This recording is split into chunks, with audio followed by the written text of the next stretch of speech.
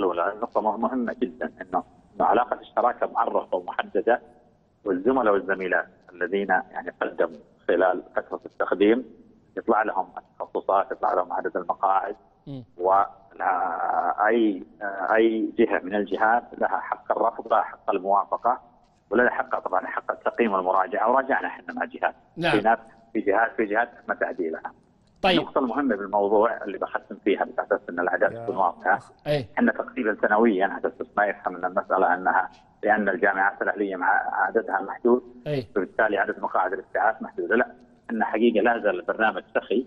تقريبا إحنا نبدأ ابتعاثنا في العام الماضي ما يقارب ال 8000 إحنا الآن بنصل الرقم هذا السنة هذه إن شاء الله. إحنا جاهزين نجهز الإحصائية النهائية.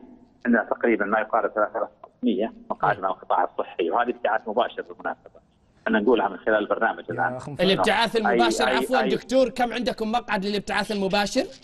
في المسار الصحي أي. 3500 وال- والخبر والخبر الجيد في المسار هذا إي. إنه وأنا أقولها هنا ومعلنينها إحنا رسميا ونقول ناكدها إنه أي سعودي أو سعودية إي. لديه قبول مباشر بالمسار الصحي حتى لو ما قدم في فترة التقديم أي. سيحصل على الابتعاث مباشرة.